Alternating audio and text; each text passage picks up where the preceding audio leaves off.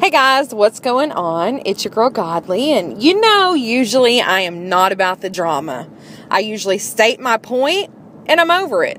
I don't just fucking dwell on it. Well, other than Vondahar, but that's a different story. Anyways, recently this week I did a video about Girl Gone Gamer and whether or not she was faking it. And the whole point of that video wasn't whether she's faking it or not. I could give two shits whether she's faking her gameplay, what have you. What I care about is the fact that she says that she's a gamer, yet she only does blogs. Nine times out of ten, her videos are vlogs. That's my problem. So, to say there that I have all this hate because she's a better gamer than me, bitch, I don't even see her gameplay. And the gameplay is questionable that she does upload. So let's not go there with me. But let's get to the point. The fact of the matter is, recently, after posting this video a couple of days ago, today all of a sudden she posted a video called Things That Just Don't Make Sense. Hmm. Don't that sound kind of familiar to you guys?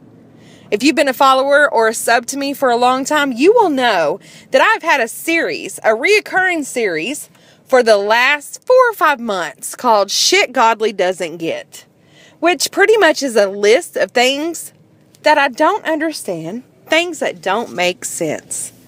So now all of a sudden, I'm like, hmm, this bitch done stole my content. She stole my ideas. You can't sit there and say without a shadow of a doubt that she didn't steal this idea from me. So I watched the video and of course, it talks about things that she doesn't understand, things that she doesn't get, which, like I said, is my idea. Now, we all know that we have done multiple stories over things that have already been talked about, videos that have already been done, this, that, and the other. The fact of the matter is, is we're talking two days within two days of me hating on her and hating her videos, this all of a sudden comes up?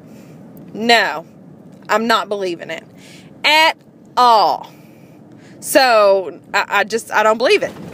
So for those of y'all who are always on my channel now and hating and following me on Twitter and making up accounts, like, I feel blessed. That's right. I officially have my first haters. My first haters who have went out of their way to make bogus Twitter accounts and bogus YouTube channels just to hate on me. I love it. Like I said before, there is no such thing as bad publicity. And if my name is in your mouth, I must be doing something right. That's what I got for you guys. Till next time, peace out.